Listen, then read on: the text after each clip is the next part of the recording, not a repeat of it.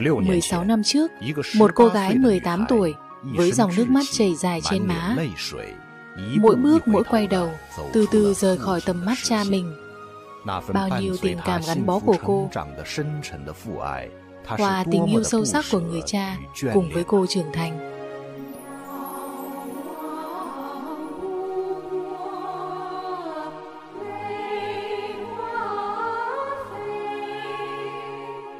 Lần ra đi này mới xa xôi làm sao? Vượt qua vạn thủy thiên sơn Bay qua đại dương Đến đất nước nơi mơ ước của rất nhiều người Trung Quốc. Thánh địa tự do Hoa Kỳ. Lần ly biệt này mới dai dẳng làm sao? Đằng đẵng 16 năm Cô không được thấy dáng dấp của cha Không được nghe giọng nói của cha.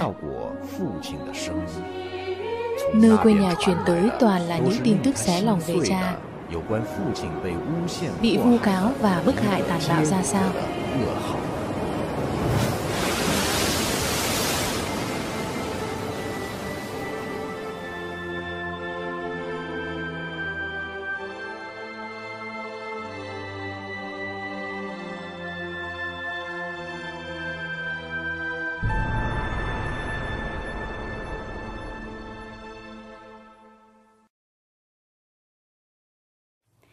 Thưa quý vị, có mặt cùng chúng ta hôm nay còn có cô Vương Hiểu Đan. 15 năm trước cha cô bị chính quyền Trung Quốc kết án 16 năm tù giam.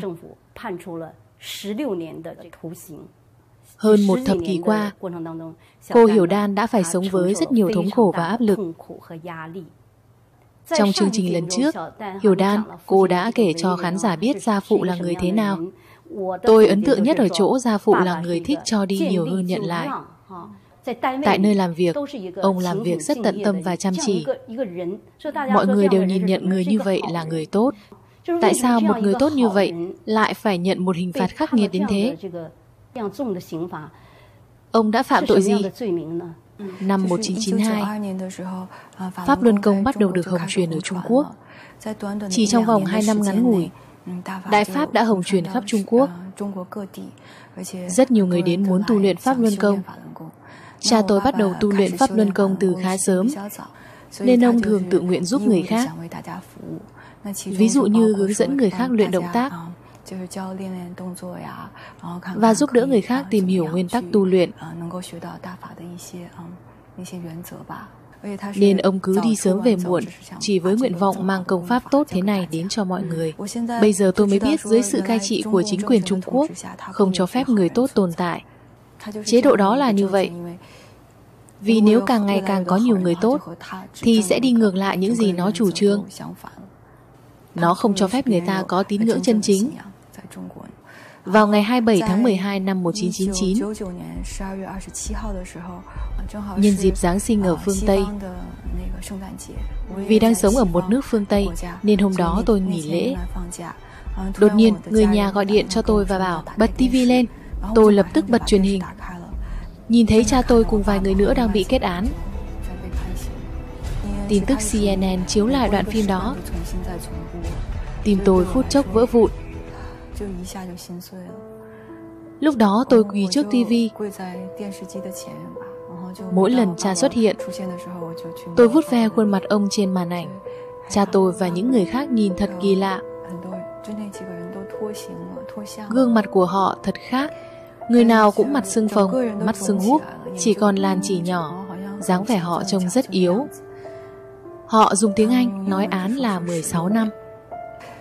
Thiên lý ở đâu? Mọi thứ đều trái ngược hết cả. Tôi quỳ ở đó, mãi vuốt ve gương mặt cha. Tôi khóc, rất cô độc, rất thương tâm. Về sau trong những ngày lễ dành cho gia đình của Tây Phương, Đối với tôi mà nói, nó rất vô nghĩa. Không còn là dịp đáng vui mừng nữa. Mỗi lần nghĩ lại, tôi đều nhớ đến ngày hôm đó cha bị oan ức ra sao. Đó là Giáng sinh đầu phải không? Giáng sinh thứ hai. Tôi còn nhớ lúc chuyện đó xảy ra. Giáo sư ở trường muốn đến thăm tôi, nhưng tôi đã đem bản thân mình khóa lại. Tôi không để ai đến thăm. Vẫn mãi gương mặt nhạt nhòa nước mắt. Tôi cắt đứt liên lạc với mọi người xung quanh. Không ngừng nghĩ Làm sao để thế nhân biết Đại Pháp là tốt?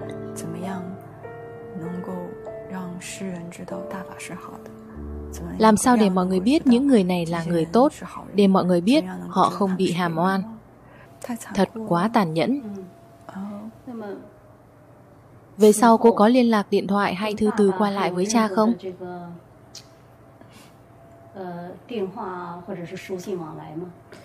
Không, cha tôi về sau có vài lần viết thư. Tôi nhớ có một lá thư để lại ấn tượng rất mạnh. Ông viết Quân tử thàn đáng đáng. Tiểu nhân trường thích thích. Tôi cảm thấy cha đã gửi cho tôi một thông điệp rất tích cực. Nói rằng con gái của cha, Con đừng lo lắng quá, Cha là quân tử, tâm cha rất thanh thản. Tôi không bao giờ được nghe giọng của cha lần nào nữa. Sau này lúc muốn nói với thế nhân, với mọi người rằng cha tôi bị hàm。oan tôi bên này chịu rất nhiều áp lực người thân và cha tôi cũng chịu rất nhiều áp lực về sau tất cả mọi thư từ của cha hay tin tức về ông trong tù cũng rất khó nhận được。Cô có biết cha mình sống thế nào suốt 15 năm tù dài đằng đẵng đó không? Sau khi vào tù ông chịu rất nhiều khổ hình bây giờ ông không còn chiếc răng nào hết. Là bị đánh gãy sao? Vâng đúng vậy. Ngoài ra ông còn không được ngủ suốt 7 ngày 7 đêm. Người ta nói ngón tay con người kết nối với tim. Vậy mà ngón tay cha tôi bị xuyên thủng không biết bao lần bởi tăm xỉa răng. Xương đòn bị đánh đến phế Chứ không phải bị gãy. Là bị đánh đến tàn phế. Vâng, đúng vậy. Thời điểm năm 2000 Từ Bắc Kinh truyền tới tin tức Cảnh sát tà ác tiến hành nhiều khổ hình rất tàn ác. Họ đâm đinh thép vào đầu gối cha tôi đến mức vỡ vụn. Đối với tôi, người làm con gái mà nói Nghe tin này, tôi rất Không biết tâm tôi đau đớn đến thế nào. Tôi cảm thấy Ôi, cha tôi Đã phải chịu bao nhiêu là khổ. Vậy mà tôi không có cách nào bên cạnh Khích lệ ông. Nhiều năm như vậy, Tin tức về tôi ở nước ngoài ra sao ông cũng không biết. Nhưng mỗi lần tôi nghe tin tức về ông, Đó toàn là tin tức khiến tôi rất đau lòng. Tôi cũng rất mong nhận được tin tức tốt về ông. Mỗi lần nghe người khác nói cha là người quảng đại thế nào, Nhưng là con gái ông mà nói Tôi không biết mình có muốn nghe loại tin tức đó không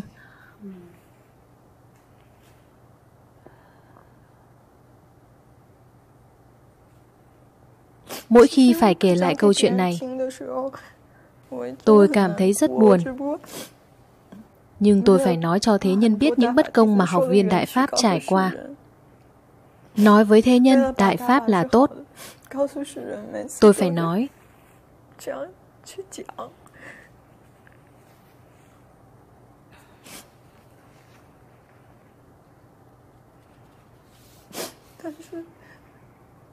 Để người ta biết cha tôi là người tốt.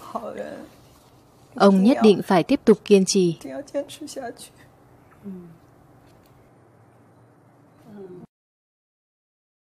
Về sau khoảng cuối năm ngoái hay đầu năm nay,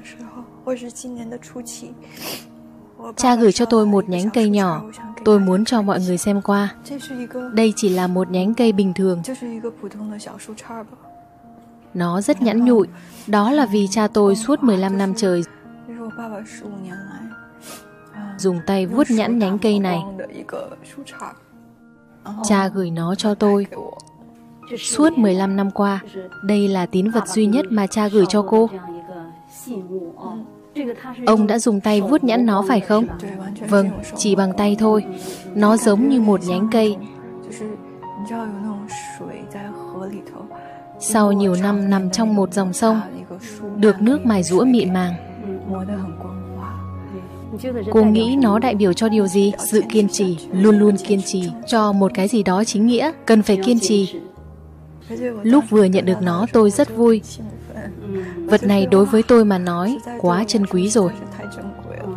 Nên tôi đưa nó cho rất nhiều bạn thân của tôi xem.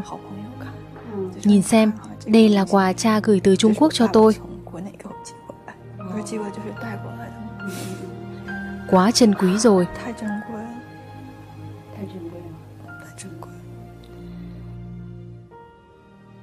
Từ nhà tù, Vương Chí Văn nhờ rất nhiều người truyền tay, gửi đến Hiểu Đan một nhánh cây quý giá để nói với cô rằng tuy cô và cha ở cách xa nhau, trái tim của họ vẫn cùng chung nhịp đập, kiên định đối với chân, thiện, nhẫn.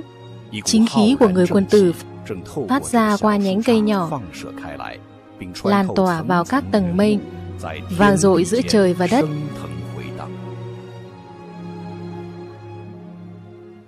Cô có gửi tin tức gì lại cho cha không? Người mà ông nghĩ đến nhiều nhất là cô. Có, ông thực sự không được nhìn thấy. Tôi ở Mỹ trưởng thành. Hơn nữa, ông đã trải qua nhiều gian khó như vậy. Chỉ vì ông muốn làm một người tốt, và ông kiên trì để làm một người tốt. Nhưng tôi nghĩ cha nhất định biết rằng chúng ta luôn ủng hộ ông. Trong 15 năm này, có bao giờ cô thử quay lại Trung Quốc thăm cha không? Không.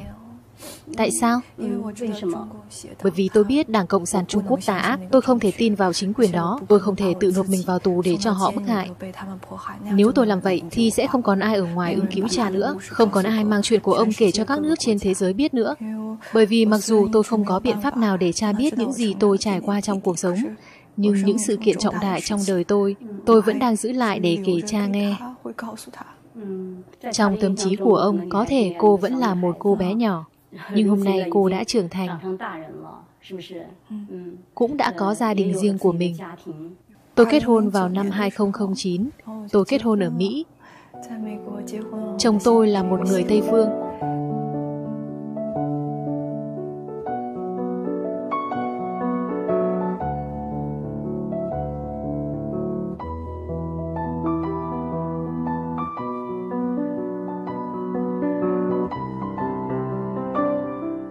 Trong thời gian hôn lễ, hối tiếc lớn nhất của tôi chính là cha tôi không thể nhìn thấy tôi kết hôn. Tôi cảm thấy rất buồn, nhưng tôi muốn có một biểu tượng nào đó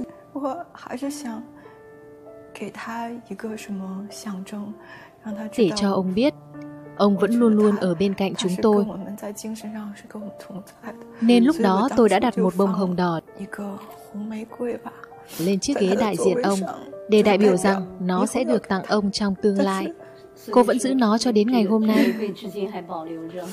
Lúc này nó đã phai hết sắc màu, có bụi và mạng nhện. Nhưng đối với tôi, nó rất chân quý. Đợi đến khi cha được phóng thích, tôi muốn đưa nó cho ông xem. Để cô có thể tự tay trao nhành hoa này cho ông. Vâng, nó vô cùng chân quý. Tôi cũng cất giữ kỹ bằng tốt nghiệp trung học đại học của mình.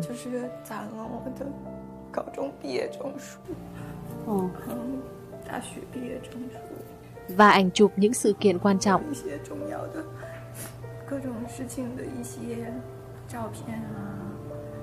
Bất cứ điều gì quan trọng trong cuộc sống của tôi, tôi đều giữ lại, cất giữ. Đến lúc đó có thể cho cha xem.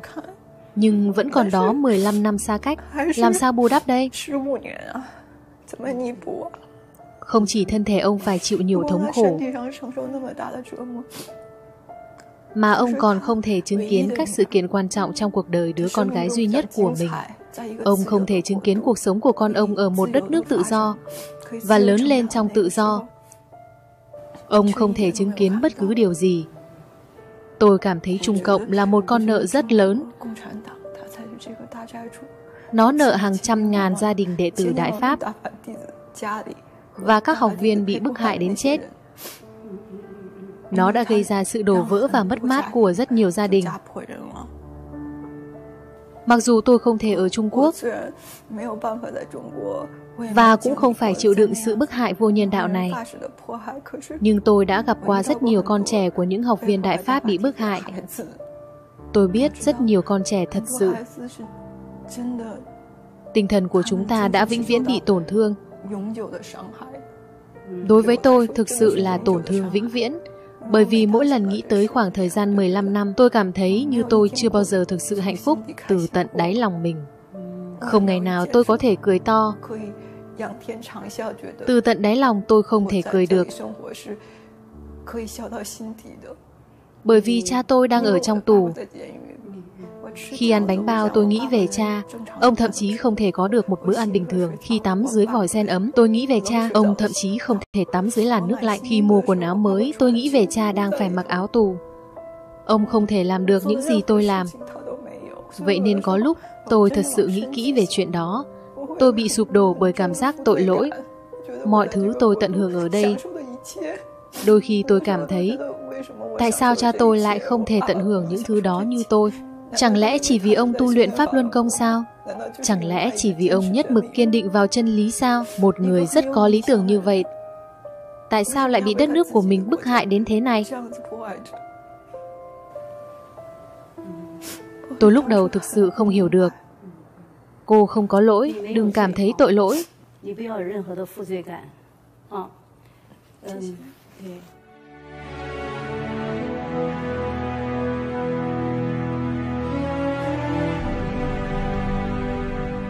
Đây là bà tôi khi bà còn khỏe mạnh. Khi bà còn khỏe, khuôn mặt bà khá đầy đặn. Bà khá khang kiện. Bà chăm sóc tôi khoảng 1-2 năm khi tôi còn nhỏ. Đây là bà tôi bây giờ. Bà bây giờ phải dùng máy thở. Mẹ tôi đêm nay sẽ bay về. Đợi khi mẹ tới, họ sẽ rút máy thở khỏi bà. Bởi vì nó rất tốn kém và bà không còn hy vọng sẽ hồi phục. Bà vẫn đang đợi cha tôi. Bà viết tên mẹ tôi vào lòng bàn tay của dì tôi. Sau đó nghe nói cha tôi sắp được thả, nên bà nói bà sẽ gắng gượng đến khi gặp lại cha tôi. Nhưng tôi không nghĩ rằng bà có thể đợi được ngày đó. Thứ ba này, mẹ tôi sẽ lên máy bay. Tôi không biết liệu ngày mai, sau khi tôi làm chứng sự thật tại Quốc hội Mỹ xong, liệu bà tôi còn tại thế hay không? Cô Hiểu Đan Tôi nghe nói trong 15 năm này, vì để ứng cứu cho cha,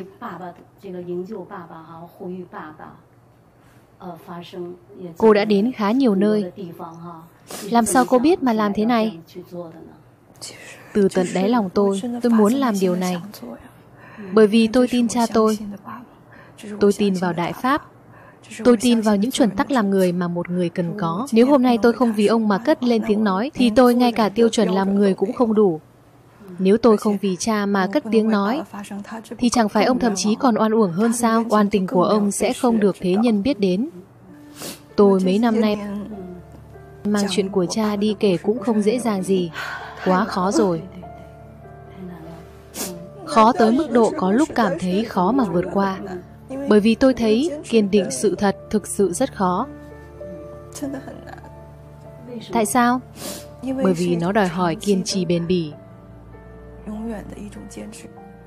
Đảng Cộng sản Trung Quốc không chỉ phá vỡ gia đình bạn, nó còn bôi nhọ thanh danh của bạn. Nó sẽ tiêu diệt cả tinh thần lẫn tài chính của bạn. Nó là một sự hủy hoại có hệ thống và toàn diện đạo đức, ý thức hệ và các mối quan hệ của người ta, tất cả. Nên sau 15 năm này tôi đã trưởng thành. Tôi bây giờ đã hơn 30 tuổi. Tôi cần sử dụng sức mạnh của chính tôi, niềm tin vào cha tôi, vào Pháp Luân Đại Pháp và các nguyên tắc trở thành người tốt để nói với thế nhân. Đây không còn chỉ dành cho cha tôi, mà đã thăng hoa thành sự hiểu biết về các nguyên tắc tư tưởng. Hơn nữa, tôi cảm thấy mình nhất định phải tiếp tục cố gắng. Tôi thực sự rất rất tôn trọng Pháp Luân Đại Pháp. Đối mặt với rất nhiều áp lực và dư luận, các học viên Pháp Luân Đại Pháp trên toàn thế giới vẫn sẽ không ngừng giảng chân tướng, vẫn sẽ không ngừng nói với người Trung Quốc Pháp luân đại pháp là tốt, bởi vì bản thân tôi biết, ở xã hội Tây Phương, một thân một mình bươn trải có quá nhiều khuôn mẫu, có quá nhiều tội lỗi trong xã hội có thể ảnh hưởng đến tôi. Nhưng vì tôi tu luyện Pháp luân đại pháp, tôi chưa bao giờ có bất kỳ thói quen xấu nào. Tất cả mọi thứ tôi làm đều làm với một lương tâm trong sáng. Tôi duy trì một nguyên tắc không lừa dối người khác và đối xử tốt với người khác. Mặc dù Đảng Cộng sản Trung Quốc đối với gia đình tôi đã gây ra quá nhiều thù hận, mang đến quá nhiều thống khổ, tôi trước giờ chưa bao giờ nghĩ đến việc trả thù, tôi chưa bao giờ nghĩ đến việc nói điều gì đó chống lại họ. Tôi chỉ muốn cứu những người đã bị họ lừa dối. Nếu họ có thể hiểu nhờ vào lắng nghe, chuyện của cha tôi cũng như chuyện của hàng trăm ngàn học viên Pháp Luân Đại Pháp, họ có thể biết được Pháp Luân Đại Pháp là gì, Đảng Cộng sản Trung Quốc là gì, thì họ sẽ thực sự biết được điều gì là tốt và điều gì là xấu. Trong quá trình cố gắng giải cứu cha, cuộc sống của cô đã trải qua những thay đổi nào? Việc kêu gọi giải cứu cha tôi đã hoàn toàn thay đổi cuộc sống của tôi. Bởi vì tôi giống như có một mục tiêu để phấn đấu và nỗ lực. Nó biến tôi trở thành một người rất tích cực. Từ trải nghiệm kể lại câu chuyện của cha cho thế giới phương Tây, Tôi nhận được rất nhiều sự ủng hộ từ mọi tầng lớp, từ người dân, từ cộng đồng đến trường học, đến các chính phủ quốc tế. Tôi đã nhận được đủ loại hỗ trợ và giúp đỡ. Mọi người rất tích cực giúp tôi, khiến tôi cảm thấy rằng một bên là đất nước tôi, nhưng đồng thời cũng bị cai trị bởi Đảng Cộng sản Trung Quốc. Một bên là xã hội tự do, giống như sự khác biệt giữa ngày và đêm vậy. Một bên là địa ngục, một bên là người dân bình thường sống với niềm tin. Một bên bức hại người, còn một bên cứu người. Hiểu Đan, cô có điều gì muốn nói với cha không? Cha ơi, con sẽ luôn luôn ủng hộ cha. Con muốn đợi sau khi cha đường đường chính chính, quang minh chính đại bước ra ngoài. Chúng ta sẽ ở bên nhau, sẽ không bao giờ phân ly nữa. Con sẽ đưa cha đến Mỹ và bù đắp cho cha 15 năm nhiều hối tiếc này.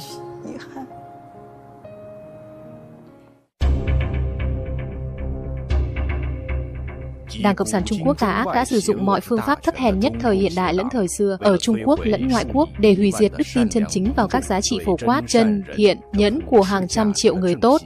Nó điều gì cũng có thể làm và tận dụng thủ đoạn đê tiện và tàn độc, khiến trời đất nổi giận.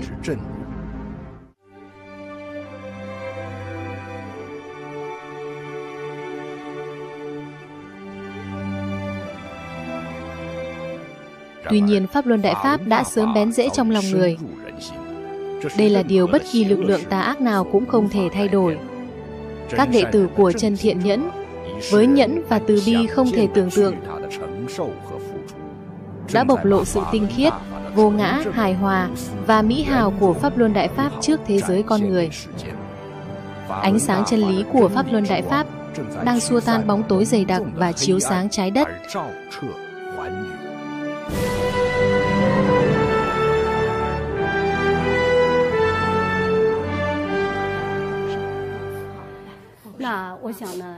Thời gian cho chương trình hôm nay đã hết. Tôi hy vọng cha cô có thể xem được chương trình này. Trong tương lai không xa, 15 năm cũng sắp qua đi rồi. Chúng tôi hy vọng cha cô sẽ sớm được tự do trở lại. Và mong muốn của Hiểu Đan sớm thành hiện thực. Chân thành cảm ơn quý vị đã theo dõi chương trình hôm nay. Hẹn gặp lại lần sau.